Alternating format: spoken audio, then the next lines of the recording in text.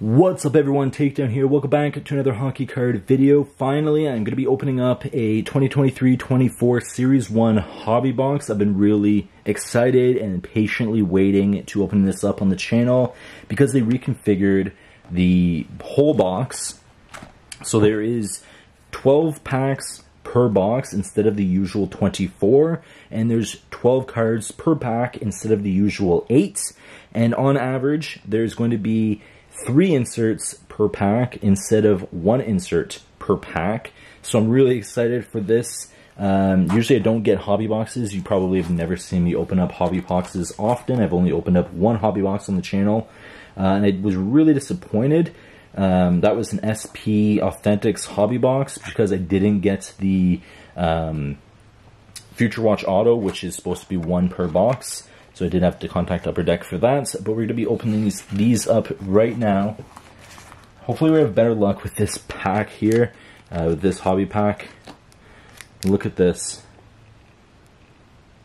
They just look phenomenal. So I'm going to be moving this over here, kind of out of camera. And we're going to be opening up the first pack of the new configuration for 2023-24 Series 1. I'm really excited. Let's just dive right in. So first look, obviously I'm going to go for a complete base set. So let's look at the base cards first.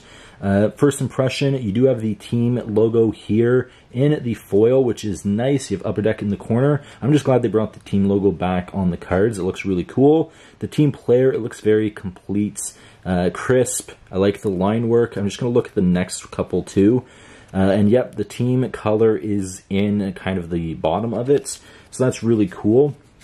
So I'm not sure where the inserts are, but I do see some here.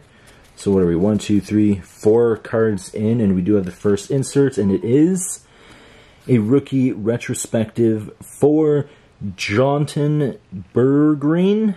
Probably butchered the name. There is jersey card variants, which would be awesome to get. And I do like that it's a nice foil of the team logo as well for this card. Next one here, Oh, we did get the one I really wanted, the Upper Deck portrait of McDavid, which he has the crown. He looks like a king. That just looks awesome. That looks so cool. So I'm going to put the first insert right here. And we did get a Young Guns. This is a looking a special one. So this is Wyatt Fraser. And I'm not sure. Uh, this is the first look at the product for me. But comment down below what you guys think. I don't know if this is some kind of silver, I want to say burst by the look of it. Uh, but that looks really cool. I don't think all the base cards, or sorry, all the rookie cards look like that.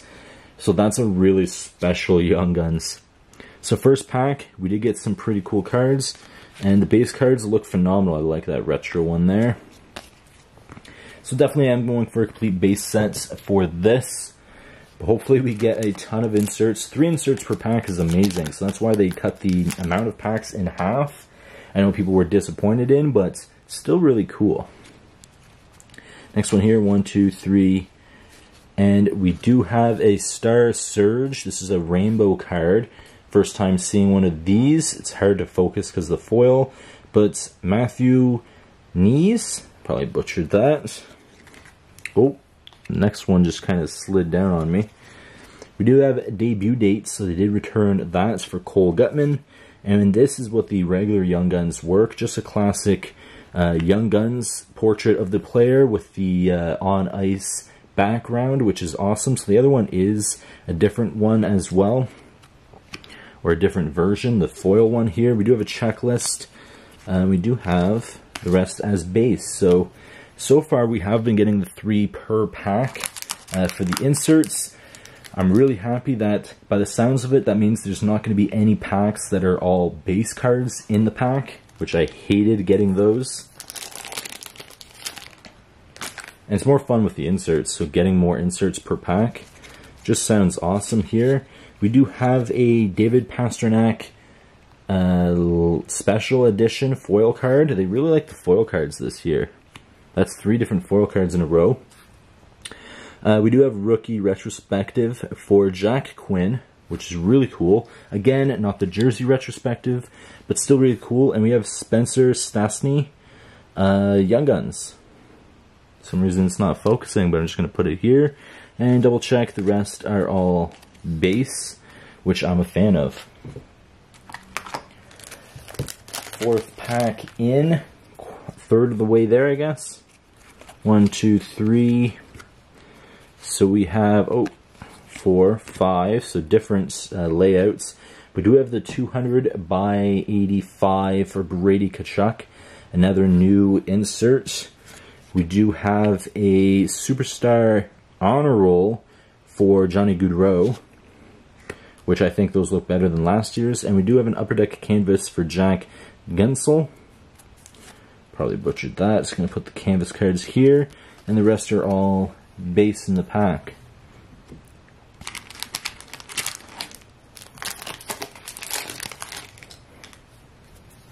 Next pack here. We have a special edition for Erik Karlsson. I find the foil ones are harder to focus for some reason on my camera now.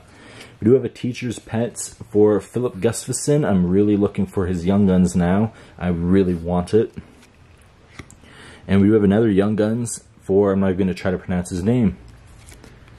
And the rest, just to confirm, are all base.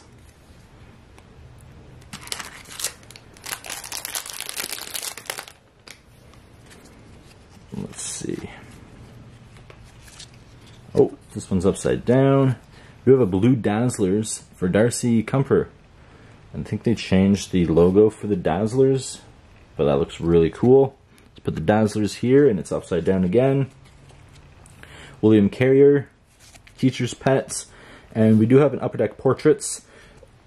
I liked McDavid's better.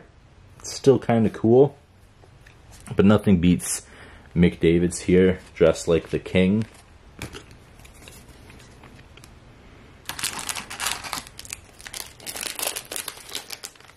Getting to the bottom of it. We do have, I'm not going to try to pronounce his name, but that is a really, really nice card. Uh, we do have a debut dates for Ottawa Senators, Ridley Greig. I do like the Sens, obviously. So that's a nice one for me. Do we have a Young Guns for Hyros? Which I actually like him, so that's a really cool one.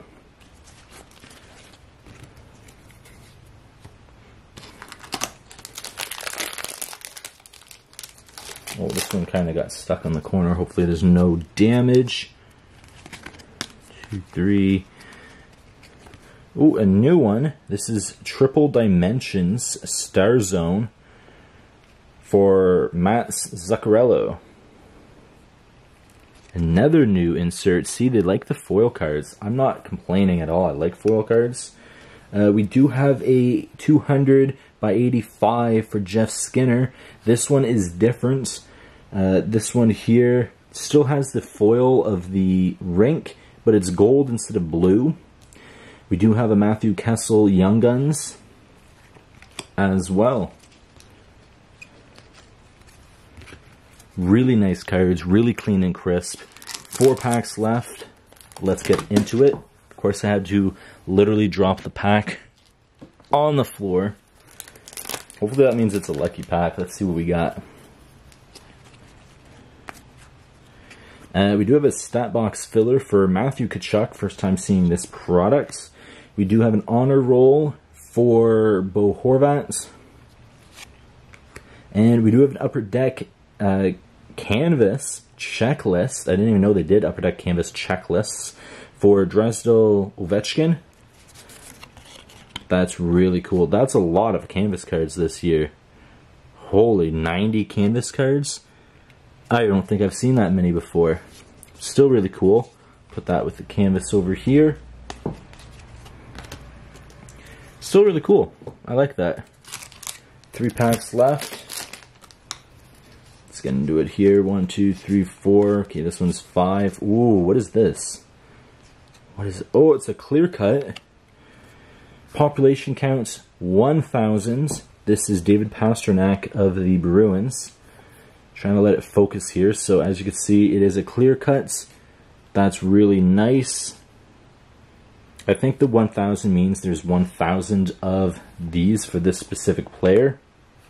I think I've seen uh, 50 count as well. We also have the triple dimensions for Auston Matthews, which is really cool.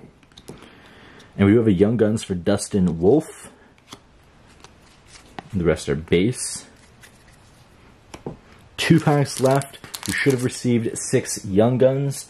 We have, let's double check here. One, two, three, four, five, six Young Guns plus the special one here. So we already have a lot of Young Guns.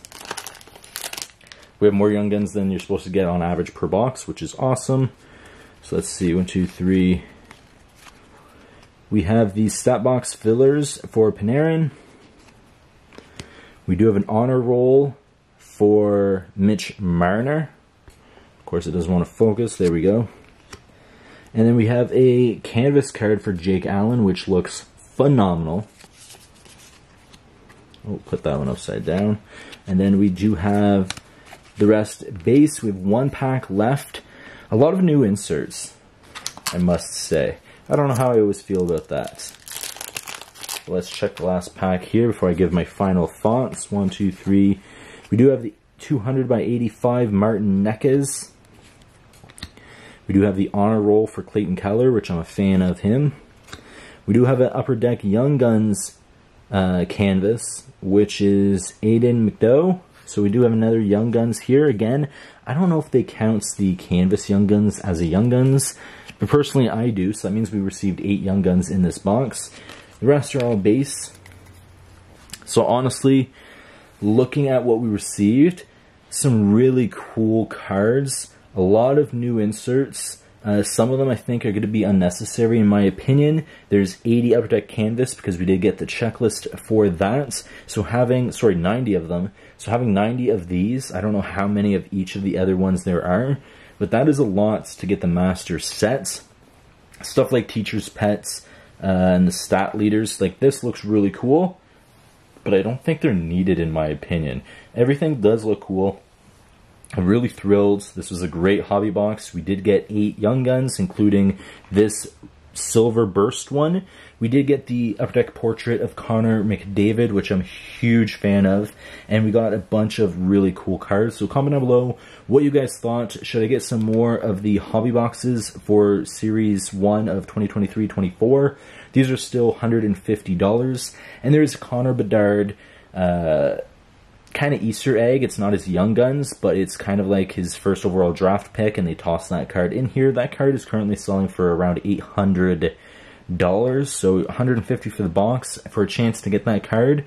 It's actually pretty good. It's not like they skyrocketed yet, but comment down below what you guys thought. Should I get some more? And I will see you guys in the next video. Please take care. Peace.